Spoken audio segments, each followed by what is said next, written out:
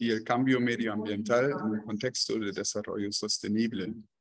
Aplica tanto métodos experimentales de campo como modelos informáticos para evaluar y predecir el impacto de las actividades humanas en el ciclo del agua. Tiene un interés específico en la aplicación de métodos novedosos, incluyendo la ciencia ciudadana y el monitoreo participativo. Bueno, y para agregar en mi parte, eh, particularmente hemos trabajado ya muchos años juntos y en realidad puedo confirmar que, que Bauta está acá en los Andes posicionado en diferentes países con diferentes institutos y eh, diferentes proyectos hace muchos años, tiene mucha experiencia y es, es un gusto tenerlo hoy acá, que tiene el tiempo de presentar. Así que muchas gracias y Bauta, por favor, adelante solo un último comentario para todo el público. Mientras que están escuchando la charla, que durará hasta 40 minutos aproximadamente, pueden poner sus comentarios en el chat o usar la función acá del webinar que es preguntas y respuestas. Muchas gracias. Adelante, Pablo. Muchísimas gracias, Fabián, por tan amable presentación y obviamente también por la oportunidad de eh, presentar eh, trabajo, investigaciones que hemos implementado en mi grupo en, en Londres, pero con la colaboración de, de varios institutos y, entidades eh, peruanas. Y como escuchan, mi primer idioma no es el, el español, pero a través de muchos años colaborando con eh, contrapartes en los Andes y aprendido ya algunas palabras, pero obviamente si cualquier aspecto no está claro, eh, por favor no hesiten en hacer preguntas por el, eh, por el chat y con mucho gusto intentaré de, clarificar.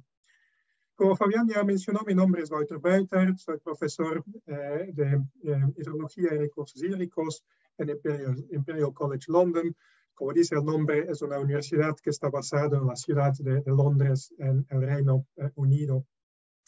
Y durante los siguientes 35-40 minutos les quiero presentar eh, algunas investigaciones que hemos hecho, muchos de los cuales se han implementado en eh, Sudamérica, los Andes en particular, enfocándose en el tema de la seguridad hídrica global. Y lo que eso significa, voy a intentar de presentar de explicar un poco más de detalle eh, brevemente.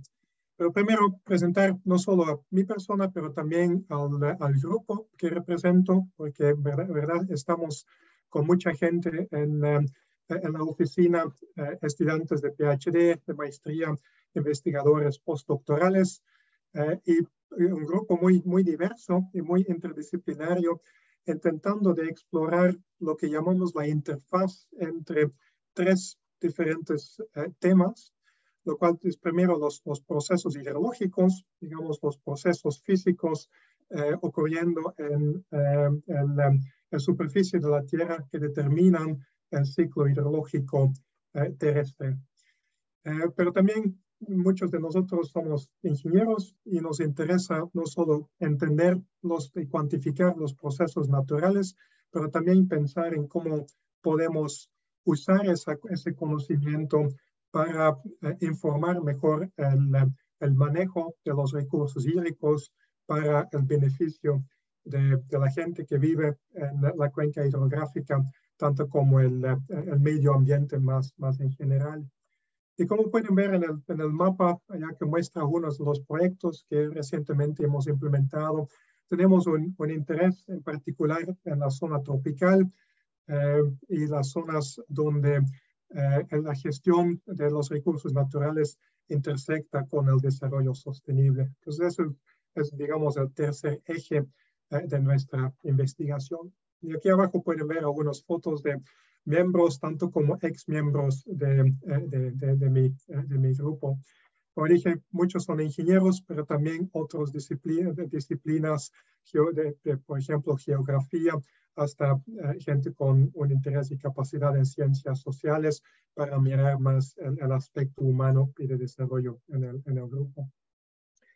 Y con este grupo buscamos eh, casos, eh, lugares donde podemos investigar cómo la ciencia puede apoyar a un mejor desarrollo sostenible en diferentes regiones del mundo y con un enfoque específico en como el tema de agua, eh, pueda ayudar a este, apoyar a este em, para este desarrollo. Y usamos el, el tema de la seguridad hídrica eh, como, como enfoque, como objetivo o punto de, entrada. Y aunque estamos basados en el otro lado del mundo, hasta en mis clases eh, para los, eh, los, los, estudiantes, me gusta mucho mostrar o usar el caso de los Andes como un, un, un tema o un ejemplo para mostrar la complejidad y la interdisciplinaridad de ese concepto de seguridad hídrica. Y obviamente tiene que ver con eh, la disponibilidad de agua. Todos necesitamos, eh, todos necesitamos agua para, para, vivir, para beber, pero también para muchos otros eh, servicios que usamos en, en, la, vida, la vida diaria.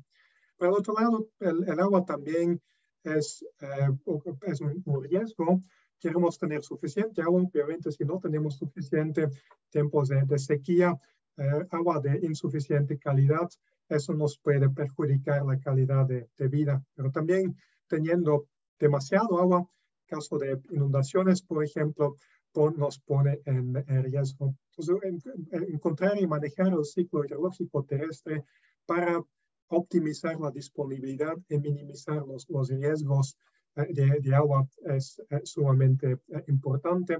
Y es un reto, especialmente en zonas geográficas eh, de alta complejidad, como son, son los Andes. Eh, hasta eh, la tasa de lluvia, por ejemplo, es muy variable.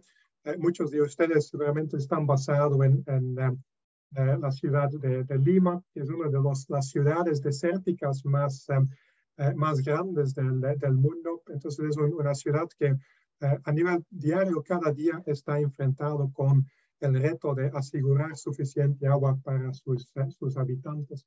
Y esa agua viene de las, mucha de, esa agua viene de las montañas, eh, donde hay varios procesos que determinan la disponibilidad de, agua. Hasta los cumbres más altos hay los, los glaciares, que son un almacén importante de, agua, eh, que lo reciben de, la nieve, de la precipitación y lo eh, liberan a través del, del proceso de derretimiento de una manera constante para asegurar suficiente agua en los ríos pero muchos otros procesos son igual eh, de, importancia.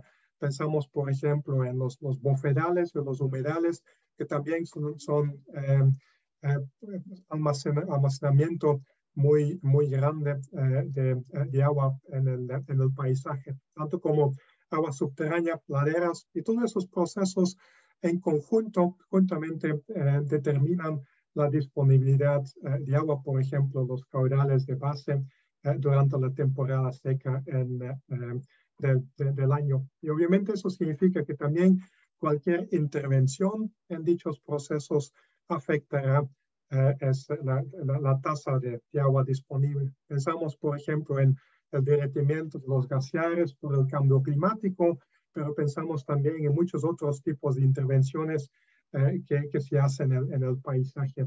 Eh, de la, el cultivo o la ganadería, diferentes tipos de agricultura, tanto como eh, otros, eh, otras intervenciones, otras actividades industriales.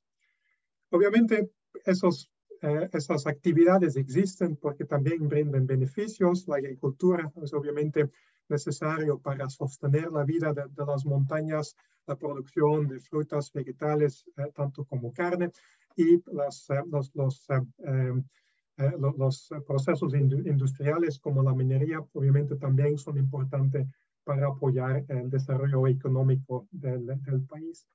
Entonces estamos con un paisaje que de punto de vista natural es sumamente complejo en términos de los procesos que, que incluyen, que ocurren allá, eh, tanto como las, las actividades humanas eh, que, que, ocurren y que apoyan o soportan el, el desarrollo tanto como la gente que vive en las, la alta montaña, las, eh, las, comunidades, como aquí, por ejemplo, en la foto de la comunidad de Huamantanga, eh, en las cabeceras eh, de, de, de, las cuencas que brindan agua para, para, la ciudad, tanto como la gente que vive más aguas abajo, como la ciudad de, Lima misma.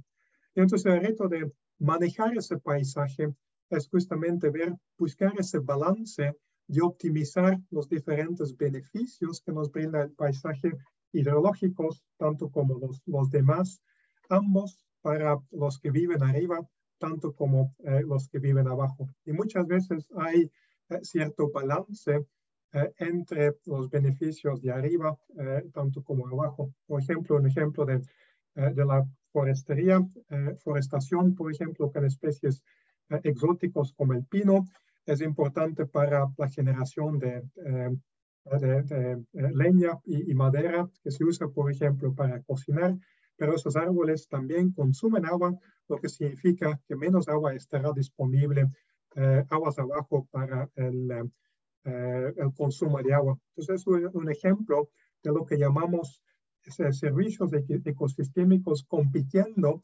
Eh, no podemos, tenemos que escoger entre uno u otro, pero es muy difícil buscar dónde está ese, ese balance. Y eso es realmente el tipo de, problemas, de preguntas que nos interesa desde el punto de vista, eh, desde punto de vista científico, cómo manejamos el paisaje para justamente optimizar esos balances y esas necesidades de todo eh, la, gente, tanto como la naturaleza que ocurre en la, eh, en la cuenca.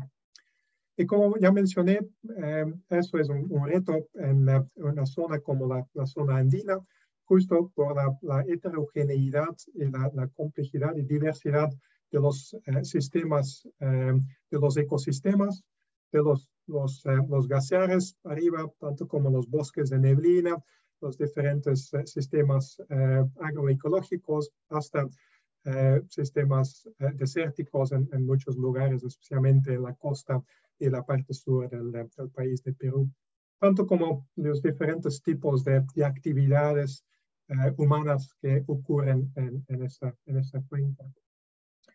Entonces, como científicos, lo que, lo que hacemos para entender y manejar esa complejidad es eh, buscar o eh, generar lo que llamamos un, un marco teórico o un marco conceptual que nos permite pensar y estructurar nuestra, nuestro pensamiento sobre ese, ese sistema.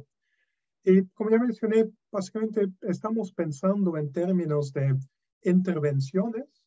Tenemos esa, esa eh, entidad eh, espacial que es la, la, cuenca hidrográfica, donde los procesos naturales interactúan y generan cierta disponibilidad hídrica, tanto como otros servicios ecosistémicos, pero como entidades humanas eh, interactuamos con esos procesos de una manera que altera eh, los, procesos y obviamente lo que estamos buscando es optimizar ese conjunto, ese portafolio, como a veces decimos, de los diferentes eh, servicios, los diferentes beneficios que, que generan, que genera esa, ese sistema natural. Por ejemplo, sembrando eh, papas nos da el beneficio de tener eh, luego eh, la cosecha de, de, papas para poder, poder comer. Entonces, eso es uno de, de, un gran rango de tipos de, de intervenciones, de actividades humanas que, que, ocurren en, en, la cuenca, pero también obviamente generan sus beneficios, pero muchas veces también van a generar lo que llamamos desbeneficios o desventajas potenciales efectos secundarios, eh, tal vez, por ejemplo, agua, eh, más, eh, más agua arriba o en el, en el lugar mismo. Si abrimos el paisaje para sembrar pinos, tenemos que remover la vegetación original y eso, por ejemplo, puede reducir la, la, biodiversidad del paisaje. Es otro ejemplo de un, un balance entre diferentes tipos de, de, servicios. Y obviamente la idea es intentar de encontrar cuál es el manejo, el conjunto de actividades que implementamos en esta cuenca para optimizar ese, ese portafolio eh, de, servicios ecosistémicos. Y eso es una pregunta, o ese óptimo de los, del conjunto de beneficios eh, también dependerá del tiempo. Eh, una cuenca hidrográfica es un sistema dinámico que continuamente cambia. Por ejemplo, aumenta la, la densidad poblacional eso tendrá su, su impacto sobre las necesidades de los diferentes, eh, eh, los, los eh, diferentes, la, gente que vive en, en, esa cuenca. Pero también hay otros, como llamamos, condiciones de contorno, otros aspectos que cambian, uno de los cuales es, por ejemplo, el, el, el, el cambio climático, que, que efectúa cambios en la cuenca, por ejemplo, cambios de la tasa de precipitación, derretimiento de los glaciares. Entonces, esos son cambios exteriores de la cuenca, pero que también tenemos que tomar en cuenta si manejamos esa cuenca para, por ejemplo, anticipar el impacto negativo del derretimiento de los glaciares en la disponibilidad hídrica. Eso es lo que llamamos la gestión adaptativa, la gestión flexible que anticipa esos futuros cambios y piensa en eh, implementaciones, cambios en la gestión eh, que pueden eh, anticipar y manejar esos, esos cambios internos tanto como, como externos. Entonces, como ingeniero de recursos hídricos, pensamos en, el manejo de cuenca para llegar a ese óptimo de, de, conjunto de servicios ecosistémicos que apoya al, al, desarrollo, desarrollo sostenible. Y en nuestra caja de herramientas del, del ingeniero tenemos muchos diferentes tipos de, de, herramientas. Algunos llamamos infraestructura gris, y eso es probablemente eh, el tipo de intervenciones que, eh, que, que, que, piensan primero si están pensando en, por ejemplo, aumentar la disponibilidad hídrica. Una, una intervención que podemos hacer en la cuenca es, por ejemplo, eh, construir un, un, reservorio con hormigón, con, con, piedras, para aumentar la, el almacenamiento artificial en, en, la cuenca y así asegurar que tenemos más, más agua durante la temporada seca, cuando, por ejemplo, el caudal en el río es, es menor. Entonces, es un, un tipo de, intervención, parte de lo que llamamos la infraestructura gris, porque está muy basado en eh, el uso de cemento, de infraestructura de construcción. Canales, por ejemplo, y otros forman también parte de, eh, ese tipo de, implementaciones o de intervenciones. Eh, y esos, esos tipos de intervenciones han obviamente funcionado muy bien durante mucho tiempo en, en, la historia. Y de hecho, pensando en, por ejemplo, el sistema de almacenamiento de provisión de agua para la ciudad de Lima, también incluye varios eh, reservorios en las cabeceras de, de, las cuencas que brindan agua para, para la ciudad. Pero estos, esas intervenciones no son ideal y uno de los problemas eh, que enfrentamos con ese tipo de intervenciones es lo del cambio climático.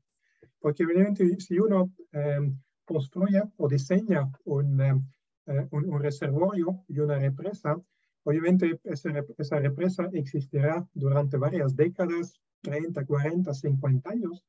Y obviamente si lo diseñamos tenemos que saber cómo estará la situación, la necesidad de almacenamiento en 50 años tanto como la disponibilidad de agua. Y eso nos requiere hacer predicciones de dichos factores. Y la necesidad de agua obviamente va cambiando mientras que una ciudad como Lima crece y podemos hacer predicciones que no serán exactas, pero típicamente tenemos una buena idea de, cómo cambia la tasa de población y cómo, qué impacto tendrá sobre la necesidad eh, de, agua. Al otro lado de, del balance, la disponibilidad hídrica, eso es mucho más difícil de, de, predecir, especialmente en condiciones de cambio climático, que sabemos que se van a cambiar, eh, que se va a cambiar la, la, tasa de precipitación, la tasa de evapotranspiración, se van a reducir los glaciares, van a cambiar otros ecosistemas, pero es mucho más difícil de eh, predecir en términos cuantitativos cómo será el cambio y qué, qué impacto tendrá eh, sobre, eh, por ejemplo, la disponibilidad de agua. Y eso es un problema porque esa incertidumbre perjudica el diseño de nuevos sistemas y soluciones basados en, en infraestructura grande como, como represas y, y reservorios.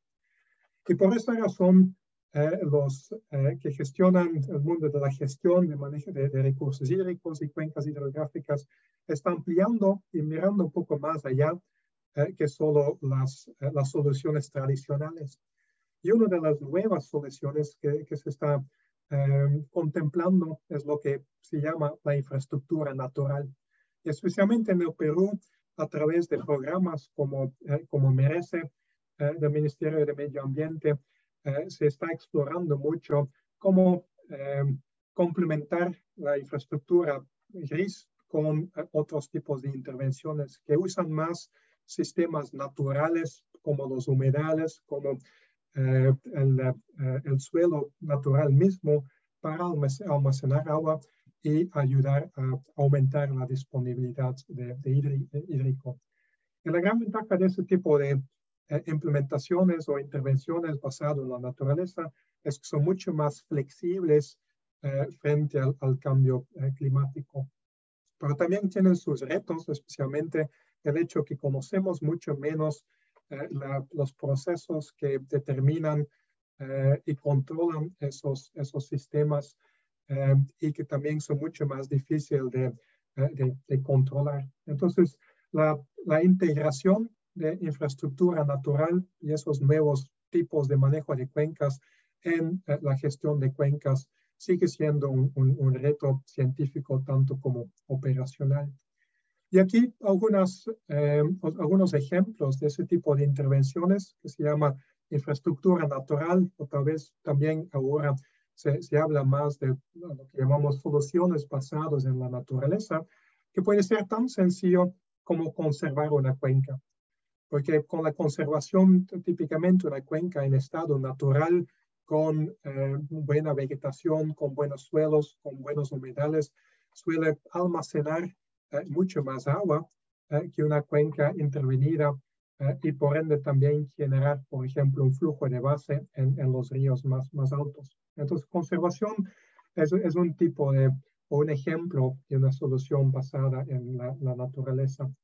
Pero muchas veces una cuenca ya está alterada de, décadas o cientos de años de, de, actividad humana y en este caso conservación no es necesariamente la mejor manera eh, eh, de, aumentar los recursos hídricos. Y entonces en ese caso hay que implementar aspectos más eh, activos como la restauración, por ejemplo, si los eh, bofedales ya están degradados, hay que hacer más que simplemente conservar, hay, hay que reconstruir esos, esas, eh, eh, esos bofedales para que almacenen el agua y, brindan agua de buena calidad. O la agricultura sostenible también es un, un ejemplo de cómo se, se, interviene en, el, en, la cuenca para generar múltiples, múltiples beneficios, obviamente la producción agrícola, en este caso es un beneficio, pero si uno lo hace a través de andenes y conservación de suelo, también aumenta la infiltración de agua en el suelo eh, y por ende eh, recarga los acuíferos y genera también un beneficio hidrológico. Entonces, es otro, otro ejemplo de una, intervención que puede brindar eh, múltiples beneficios. Y otro ejemplo que me gustaría destacar es lo de la práctica del, del mamanteo que de hecho es una, lo que llamamos una práctica ancestral que desde décadas y cientos de años ya se ha implementado en los, los Andes y que es un ejemplo de, de lo que eh, llamamos también eh, una práctica de siembra y cosecha de agua. Y esta práctica consiste en un canal que divierte el agua de una, una quebrada natural, como se ven aquí, un canal de, de, de diversión que, que, luego, en vez de usar el agua directamente, lo deja en un pendiente en la, en la montaña. Y lo deja allá para que infiltre y migre por el pendiente y la gravedad eh, hasta más, más aguas abajo del, del, del pendiente, donde eh, fomenta o, o, brinda agua a los, eh, los manantiales naturales. Y así se aumenta la disponibilidad de agua en estos manantiales y, y cochas y reservorios naturales, pero dado que ese tiempo de residencia en, en el pendiente es de varios días hasta varias semanas o meses, eh, se, se, puede desviar el agua durante la temporada húmeda y estar, tener el agua disponible durante la, eh, la temporada seca. Entonces es una manera de almacenar el agua en el sistema natural, en este caso eh, el pendiente de la cuenca para hacerlo disponible eh, durante el momento que se necesita el agua más, es decir, la temporada seca. Entonces es también un ejemplo de, de una intervención basada en la, la, naturaleza porque usa los procesos naturales aquí el almacenamiento de los pendientes para generar el beneficio de disponibilidad eh, hídrica. Y de hecho es un, una parte o, es parte de eh, sistemas que han sido usados no solo en los Andes, pero si uno mira también en todo el mundo, hay muchas de esas estrategias que llamamos ancestrales para aumentar la seguridad hídrica.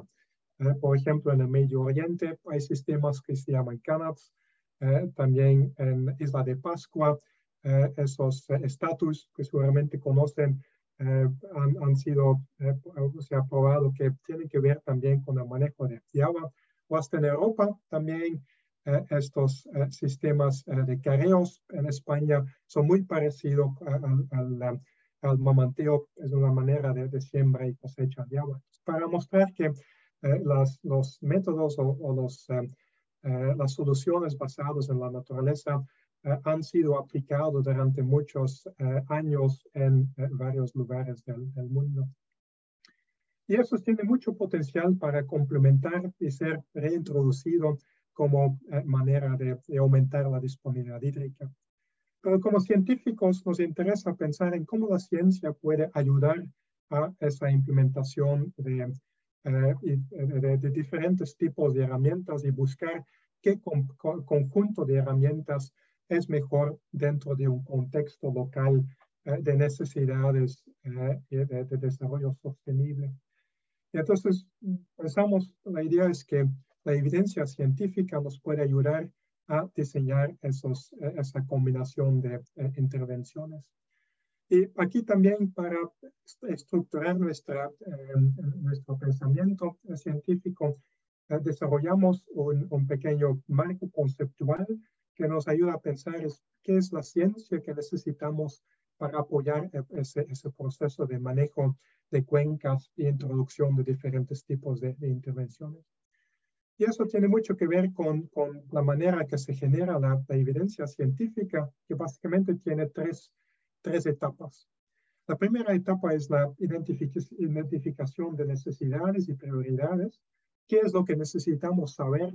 Por ejemplo, en términos de flujos, cuantificación de flujos, cuantificación de, eh, de, de los procesos hidrológicos. Y una vez que sabemos la necesidad de, de, em, eh, conocimiento, podemos empezar a colectar datos. Las ciencias naturales especialmente requieren la, la observación, la cuantificación eh, de, los procesos a través de, mediciones y colección de, datos. Pero eso obviamente no es suficiente. Luego tenemos que ver cómo podemos extraer eh, el conocimiento de esos, de esos datos crudos. un ejemplo, obviamente, mirando los datos que salen de un pluviómetro que mide la precipitación, asimismo no nos van a decir nada de cómo mejor manejar una cuenca. Tenemos que procesar esos datos y eh, entender eh, y, y, ver cómo sacamos ese, ese conocimiento. Eso es un procesamiento que puede ser, por ejemplo, un procesamiento estadístico, pero también puede involucrar modelos eh, computacionales para, por ejemplo, extrapolar la observación de un punto en el paisaje a todo el paisaje para entender la, disponibilidad hídrica o la entrada de agua, por ejemplo, en la cuenca que determina el caudal en los, ríos. Entonces, esos son los, los tres eh, etapas, digamos, que necesitamos para generar conocimiento, evidencia que nos permite a tomar mejores decisiones eh, sobre el manejo de las, de las cuencas. Y en los siguientes slides, verdad, quiero mostrarles simplemente algunas, algunos esfuerzos que hemos hecho con mi grupo, tanto como eh, nuestros contrapartes en Perú y otros países, para mejorar ese proceso y generar la evidencia que nos permite eh, manejar los, las cuencas hidrográficas de mejor manera. Primer aspecto, el, primer reto que típicamente encontramos es que en zonas de montaña, en los Andes específicamente, que contamos con muy pocos datos, simplemente porque históricamente eh, no se ha implementado muchos, eh, eh, muchos instrumentos, pero también justamente por la complejidad del, del, paisaje. Si instalamos un pluviómetro, nos da muy buenos datos de un solo lugar de precipitación, por ejemplo, pero dado la complejidad y, la variabilidad de precipitación, significa que si vamos algunos kilómetros más allá, puede ser que el régimen de precipitación ya es muy, muy diferente. Entonces realmente necesitaríamos una densidad muy alta de pluviómetros para cuantificar bien esos patrones espaciales. Y eso obviamente cuesta no solo en, en recursos financieros para comprar los equipos, pero también eh, cuesta en términos de tiempo para instalar, para manejar esos, esos instrumentos. Aquí estamos pensando o explorando nuevas tecnologías, tecnologías de bajo costo, eh, para ver si podemos construir más sensores, sensores más robustos, sensores que miden nuevos tipos de, eh, de, variables que para aliviar ese problema de, falta de, datos. Y por ejemplo, trabajamos en la alta montaña, instalando aquí un ejemplo de un proyecto que implementamos en la cuenca del Vilcanota, en el, en el sur del, del, país, alrededor de la ciudad de, Cusco, eh, para, eh, para medir el comportamiento de los bofedales altoandinos y entender mejor su contribución a, los, al caudal en, en los, los, ríos. Y es un ejemplo de un ecosistema muy poco conocido que en el pasado se ha eh, monitoreado y, y, estudiado muy poco y eso nos permite generar los datos y entender mejor el comportamiento y, por ejemplo, hacer predicciones de cómo eh, esos sistemas reaccionarán al cambio, cambio climático.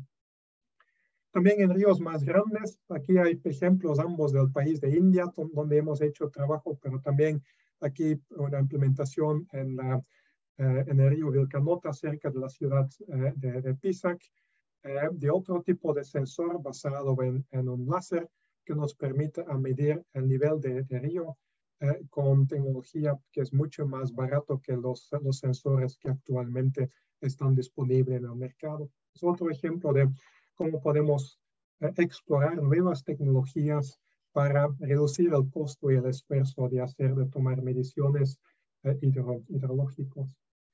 Otro ejemplo en otro pues, eh, lugar del mundo, en este caso en África, donde el tema de la sequía es mucho más importante. Entonces aquí estamos usando esa misma tecnología para medir eh, pozos de agua subterránea, como pueden ver aquí, eh, que nos permiten cuantificar la disponibilidad de agua y mejorar sistemas de pronóstico de sequía. Y justamente en este momento, tanto en África como en Europa, el, tema de las sequías está muy, eh, muy, muy relevante porque recién empezamos, entramos en, en, un estado de sequía oficial en eh, muchas regiones de, Europa, incluyendo en Inglaterra.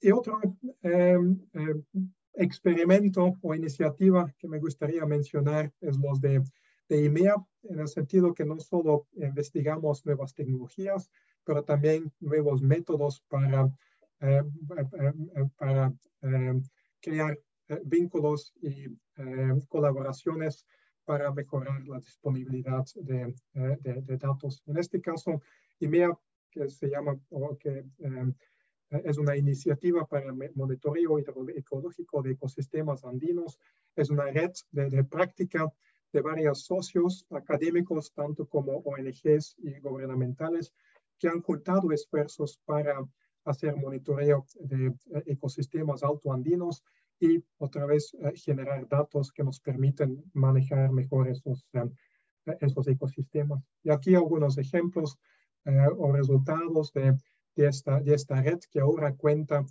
con más de, de 50 cuencas monitoreados en términos de, de hidrológicos, precipitación caudal, y a veces evapotranspiración también.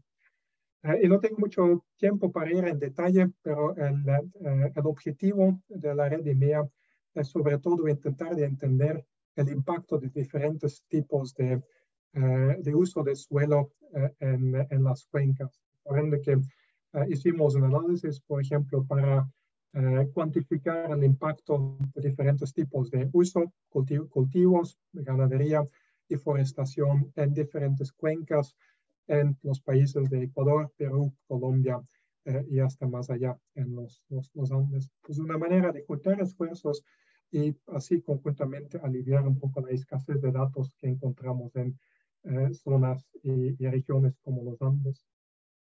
Entonces, datos muy importante. Sin eso realmente no hay mucho que podemos hacer desde el punto de vista científico.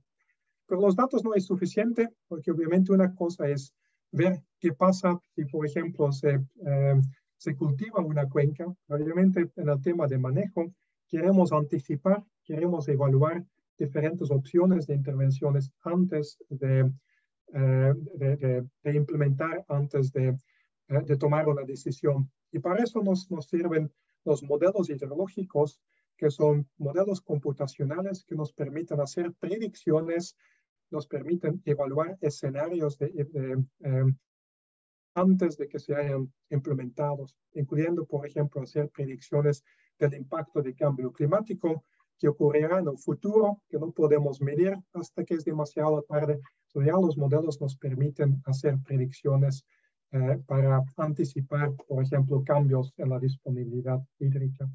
Y aquí hay un ejemplo de, de un modelo hidrológico de los bofedales altoandinos que implementamos en base a las mediciones que mostré en mi, slide anterior. Entonces son modelos que nos permiten hacer justamente estas predicciones en el, en el futuro.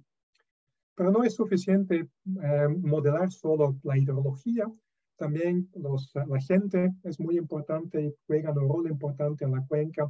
Entonces también eh, diseñamos y desarrollamos modelos que llamamos modelos del sistema sociohidrológico que incluyen la hidrología, los procesos naturales, pero también el comportamiento de, la gente y cómo va cambiando, por ejemplo, su uso de agua eh, y otros, otros servicios ecosistémicos en la, eh, en la cuenca. Y aquí un ejemplo de lo que llamamos un, un modelo del sistema sociohidrológico, eh, del, en este caso el sistema de Lima, lo que llamamos eh, Chirilú, las tres cuencas, Chion, Lurín y, y, Rímac, que brindan agua para, para la ciudad, pero que también brindan servicios ecosistémicos a las poblaciones eh, que viven en la montaña misma, para justamente poder entender ese balance, ese equilibrio entre los, los servicios ecosistémicos eh, de, alta montaña para las comunidades locales, tanto como la ciudad aguas, aguas abajo.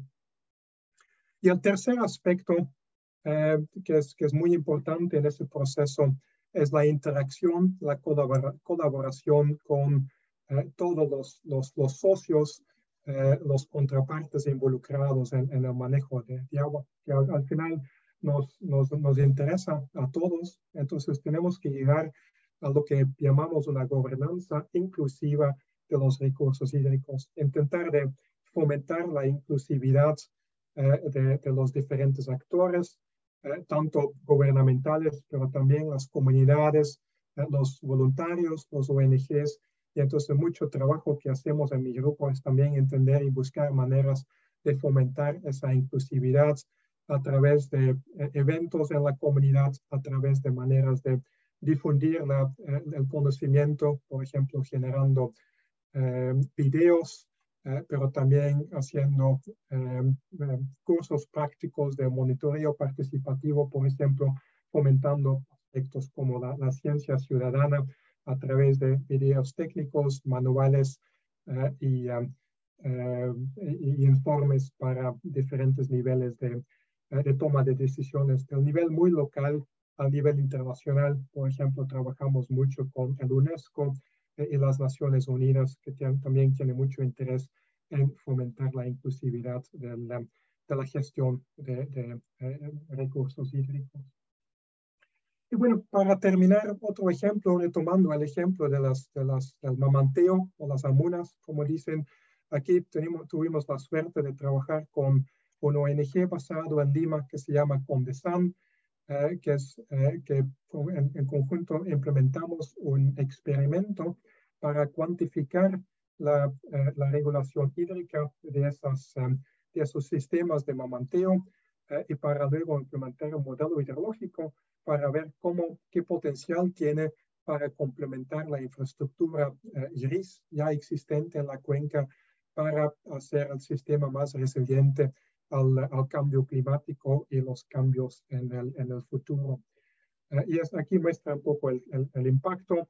Eh, la, el flujo natural, en, este caso el río Rímac, tanto como, como cambia con infraestructura gris y aquí en, en, verde, cómo eh, aumenta más la disponibilidad durante la temporada seca, justamente por el almacenamiento adicional que, que, el mamanteo puede brindar más allá que la infraestructura gris. Y creo que es un buen ejemplo de mostrar cómo la combinación de los dos, la integración de diferentes tipos de soluciones puede resultar o ayudarnos a generar un sistema más resiliente, más adaptativo, pero también más eficiente que el uso de un solo tipo de, eh, de, intervención. Y bueno, eso es todo para lo cual tengo tiempo. Espero que les interesó. Obviamente estoy muy dispuesto a eh, responder cualquier pregunta que, que tenga. Y aquí en el último slide, otro ejemplo de un infográfico que generamos eh, para las comunidades y la gente de Lima para explicar cómo funciona este, uh, este sistema de, de, Amunas. Aquí está en inglés, porque típicamente doy esta, esta charla a un, a, a un, público en inglés, pero también tenemos una versión en español.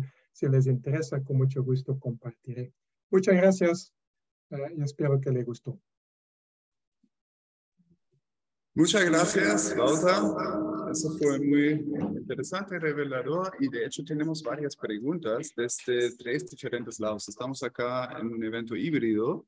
Estamos tanto acá en, en sala, como pueden ver, con, con público y estamos en Facebook Live y en Zoom. Entonces, en, en todos estos ambientes hay preguntas. Empecemos quizá con una pregunta que hizo nuestro colega Fernando González de la Geografía PUC eh, a través de Zoom.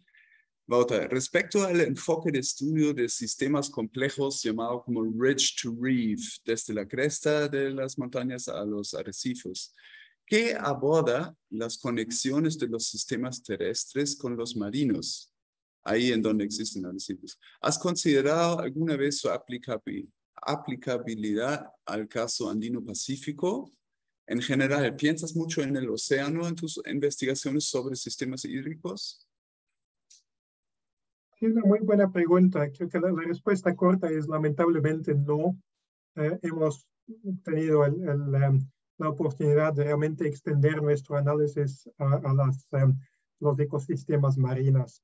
Eh, dicho eso, sí, muy de acuerdo eh, que, que, es, que es importante tomarlos en, en, cuenta. Y creo que otra vez Perú es un, es un muy buen ejemplo donde el régimen de, de, los, de los ríos que entran al Pacífico tienen un impacto muy, muy fuerte en el desarrollo eh, y, en eh, la sostenibilidad de, de, ecosistemas marinos, especialmente esos que, que se encuentran en el, en el, borde entre el límite entre agua dulce y agua salada, ¿no? donde diferentes tipos de mariscos y especies marinos crecen y, y y, están, y están presentes. Entonces, ¿verdad? Eso sería muy interesante extender ese análisis, incluyendo esos eh, ecosistemas marinos y especialmente también los servicios ecosistémicos que, eh, que brindan para, para, las poblaciones eh, que viven en, en, en, esa, en esa región. Porque al final, si una de, de, las preguntas más importantes de, de, mirar todo el sistema es, es justamente ver cómo actividades en una parte de la cuenca, por ejemplo, aguas arriba de la cuenca, afectan los servicios ecosistémicos más, más aguas abajo. Como dicen en inglés, los upstream, downstream linkages eh, entre, eh, en, en, la cuenca, y obviamente eso extiende más downstream al, eh, a los ecosistemas marinos que justamente son bien únicos e importantes en, en la costa peruana. Pero lamentablemente hasta ahora no hemos tenido esa, esa oportunidad. Muy bien. Por otro lado, Marcelo Bueno de la UNSAC en Cusco y también nuestro colega Héctor Raju pregunta, ¿cómo podemos empezar a entender la heterogeneidad del ambiente para planificar medidas de intervención respecto a la seguridad hídrica? ¿Qué rol tendrían los modelos de superficie como Joules o Hydroblocks y cómo afrontar la falta de datos hidrológicos? Marcelo manda un saludo. Yeah la pregunta del millón, ¿no? eso de lo que llamamos el escalamiento espacial, tanto como temporal, sigue siendo una de las preguntas fundamentales de, la, de, la, ciencia hidrológica, scaling behavior, como dicen en, en, inglés. hay una publicación muy, muy importante de los años 90 de, de Siva Sivapalan y, y Günther Blaschow, que ya menciona el reto de ese escalamiento. Lamentablemente, 25 años más tarde, seguimos peleándonos. Eh, de mi punto de vista, creo que la, única manera de resolver es, es medir. Eh, y la gran ventaja es que estos días ya tenemos muchas diferentes fuentes de, de datos que nos permiten armar rompecabezas. Y creo que un, eh, una revolución muy importante ha sido lo de, de, sensores remotos y especialmente imágenes satelitales que realmente ya nos, nos, nos, nos ayudan a eh, cuantificar esos, esos patrones espaciales de, por ejemplo, precipitación. Lamentablemente, las los, eh, imágenes satelitales tienen problemas de sesgo y incertidumbre, entonces realmente necesitamos la combinación de sensores remotos, tanto como sensores en el campo, eh, para ajustar y mejorar e integrar las diferentes fuentes de, datos. Y eso creo que es la única manera de, eh, de resolver esos, esos gradientes y esos, esos patrones eh, espacio, espaciales, tanto como, como temporales. Medir, medir, medir, medir, como, como dirían. Y obviamente los modelos como JUICE, al final un modelo solo es tan bueno como los datos de entrada. Entonces los modelos nos ayudan a interpolar y, extrapolar, pero al final eh, realmente la calidad de, dichas interpolaciones y extrapolaciones depende muchísimo de la calidad de los datos originales. Entonces otra vez llegamos al, tema de, las mediciones eh, y la colección de, datos. Gracias. Acá tenemos una pregunta en el público. Sofía Castro. Eh, gracias, Wouter, por tu presentación. De verdad que ha sido muy interesante y también muy eh, provocadora en, varios, en varios aspectos. Yo tengo una, una dos preguntas. Están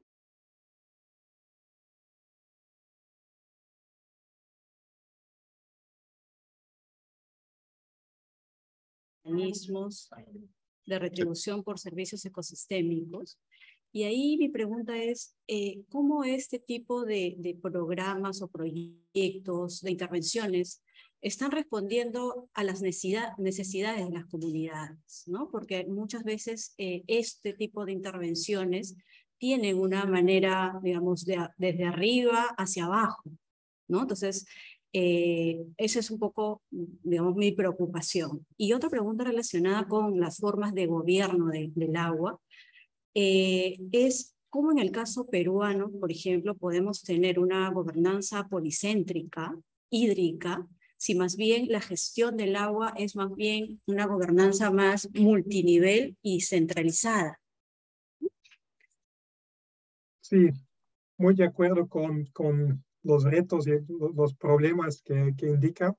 Y, que, y sí, eh, creo que sigue siendo un reto de cómo, cómo implementamos eh, una, gobernanza que toma en cuenta las necesidades a nivel local eh, y, genera la, la, evidencia que nos permite hacer eso. Y obviamente en, este momento no hay, digamos, una, una, solución final.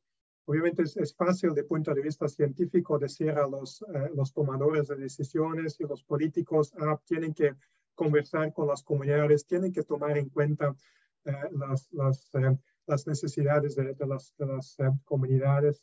Y sí, cierto que los políticos tienen la responsabilidad de, tomar en cuenta esos, eh, eh, esas necesidades. Al otro lado, como científicos también intentamos no solo criticar, pero buscar soluciones para, fomentar y ayudar ese manejo que llamamos bottom-up desde desde el, lugar, digamos, o, em, desde la escala pequeña. Ya aquí estamos pues, explorando aspectos como la, la ciencia ciudadana, el monitoreo participativo, eh, para justamente generar la evidencia y los datos que permiten mejor mostrar el, impacto o la falta de impacto de ciertos, tipos, ciertos tipos de, eh, de, de intervenciones a, ese nivel, nivel local. Y eso esperemos que por lo menos es, un primer paso para aumentar la transparencia y generar la evidencia que nos permite mostrar, mira, tal vez esta intervención no beneficia suficiente a, las comunidades locales, más bien beneficia demasiado a la ciudad, eh, no es un buen balance, tenemos que, eh, que, que buscar una intervención que, que, genera un mejor balance de, de, servicios ecosistémicos. Entonces creo que la ciencia, como parte de, generar la evidencia, cuantificar y aumentar la transparencia eh, de, la evidencia,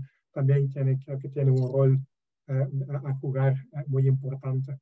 Y lo de, la, la, gobernanza policéntrica, sí, no tuve tiempo de elaborar mucho, pero hemos tenido la suerte de trabajar con, con expertos en ciencias sociales para desarrollar más la teoría de la gobernanza policéntrica que, eh, que nos permite pensar en cómo integrar esos diferentes niveles de, eh, de toma de decisiones de una manera balanceada en la cuenca hidrográfica. Y creo que aquí tampoco tenemos la solución, pero que sí está avanzando la, la, ciencia en, en, poder mostrar la, la, importancia de asegurar que se escuchan, digamos, todas las voces de, de, de, los diferentes contrapartes, incluyendo el, el, nivel, nivel local. Entonces creo que hay, hay mucho potencial, pero al mismo tiempo hay mucho trabajo que hacer para realmente llegar a una gobernanza balanceada y, y e inclusiva.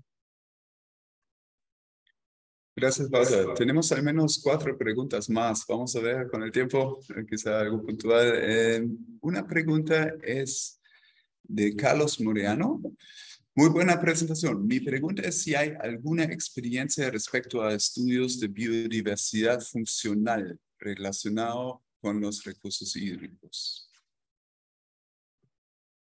Sí, debe haber pero no soy la persona más adecuada para contestar en el sentido que no soy ecólogo, pero sí trabajamos con, con, con ecólogos eh, en muchos temas, por ejemplo, la biodiversidad de bofedales, como, como también un servicio ecosistémico, ¿no? Entonces sí, estoy convencido que deben haber estudios, pero lamentablemente en este momento no, eh, sí, no, no, puedo decir de memoria eh, dónde y, y cuántos. Gracias. Eh, otra pregunta de Julio Ordóñez. ¿Cómo transformar estos aspectos conceptuales en algo rutinario y cotidiano dentro de la sociedad para avanzar más rápido en la, en la tarea de sostener los ecosistemas y lograr los objetivos de desarrollo sostenible? Sí, muy buena pregunta. Y, sí, eh, estoy consciente que mi presentación tal vez, tal vez era un poco muy conceptual, teórico, pero sí intentamos de también desarrollar herramientas específicas eh, que ayudan eh, y que, apoyan al manejo de las cuencas. Por ejemplo, los, los, sensores que mencioné, hemos, hemos desarrollado sensores robustos que ahora se está implementando en, en, varios lugares en, en, en, el Perú. Por ejemplo, trabajamos con Cenami para eh, explorar y, y, probar la robustez y la calidad de, estos sensores eh, y ayudamos a integrar esos sensores en, eh, en, en el mundo operacional, digamos. Pero también otros productos o, herramientas son los, los videos que, que, generamos para explicar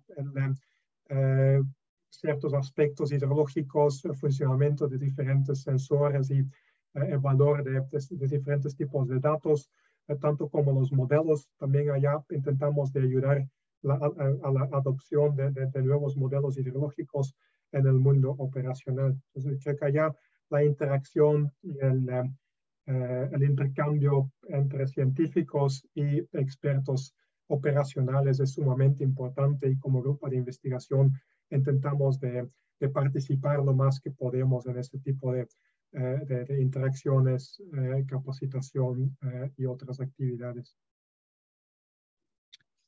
Gracias. Tengo dos preguntas más acá. Una es de Pedro Caguana, nuestro colega del proyecto RAJU también. ¿En qué medida los resultados satisfactorios en infraestructura natural a nivel internacional pueden extrapolarse a un contexto local? Sí, muy buena pregunta, pero también muy, muy difícil, eh, pero de hecho, por ejemplo, en un proyecto que estamos involucrados, financiado por el, USAID, que se llama eh, Infraestructura Natural para la Seguridad Hídrica, este proyecto justamente ha generado varias publicaciones en lo cual revisaron la, la literatura científica a nivel internacional sobre infraestructura natural para resumir, sintetizar y también interpretar en el contexto peruano. Obviamente, obviamente depende mucho del tipo de ecosistema, del tipo de intervención. Eh, algunas experiencias del extranjero sí son aplicables para el Perú, eh, otros no. Pero si están interesados en, en, en ese tema, eh, les, les recomiendo revisar esos, esas publicaciones del proyecto INECH, como dicen, financiado por, por USAID. Y una última pregunta que tengo acá de nuestro colega Fernando González. ¿Conoces el artículo del historiador ambiental andinista Mark Carey sobre, o se llama Glaciers, Gender and Science, que discute la exclusión de la perspectiva de las científicas glaciólogas en la disciplina, además de la visión de las personas que han vivido junto a los glaciares por siglos? ¿Existe un problema similar en tu campo subdisciplinar? Entonces, una pregunta sobre brechas de género. Sí, sí estoy familiarizado con, con el trabajo de uh, Carrie y, varios otros uh, que han trabajado sobre todo en, en, uh, en, en la región de Huaraz y el Río Santa, ¿no? Sí, o sea, el tema de, de género de, y derechos obviamente es sumamente importante en el tema de, de, agua pensamos nada más en, por ejemplo, la, problemática de la minería, su impacto sobre el, ciclo hidrológico y riesgo de contaminación y otros, y otros riesgos, y también en muchos otros, otros temas eh, de, manejo eh, hidrológico y manejo de cuencas, donde inevitablemente cualquier intervención brinda beneficios para eh, ciertas personas, ciertos actores, pero la gran mayoría de intervenciones también generan desbeneficios o reducen otros tipos de, beneficios. Entonces, en, en, la intervención de cuencas siempre es sumamente importante antes de, o en el diseño de, de una implementación, antes de implementar, de evaluar eh, muy detalladamente quién beneficia eh, y cómo afecta eh, la distribución de, de, los servicios ecosistémicos y los beneficios sobre todos los, eh, los, los, que benefician o, los que están afectados. Y allá obviamente todo el tema eh, de género, todo el tema de distribución equitable es, es sumamente importante. Y obviamente como ingeniero no es, no es mi, mi experiencia, pero sí intentamos de trabajar lo más que podemos con expertos en esos temas, bueno, eh, desde el punto de vista interdisciplinaria, para eh, estar por lo menos consciente de, de, de, este, del impacto social eh, de cualquier intervención que, que recomendamos o que, que, estudiamos. Muchas gracias, Bata. eso creo que terminó nuestro tiempo y también tu tiempo. Tienes que seguir porque recién llegaste también del Perú, ¿no? Al, al Reino Unido. Entonces, seguramente mucho trabajo acumulado. Así que una vez más, muchas gracias por tu tiempo muy interesante, lo cual también se ve por todas las preguntas y un total de más o menos 45 participantes que tuvimos acá entre Zoom presencialmente y Facebook Live. Muy bien, muchas gracias, Bauta. Muchas gracias a todos ustedes. Gracias. Y solamente para dar el panorama, seguimos con el ciclo de conferencias en un mes. Entonces, la próxima uh, charla será el 29 de septiembre, otra vez el último jueves del mes, ¿no? sobre resiliencia frente al cambio climático desde el sur global, a cargo de la doctora Anaí Urquiza de la Universidad de Chile. Estén atentos a los avisos en Facebook y por correo que mandamos. Gracias, Foda. Nos vemos. Gracias a todos.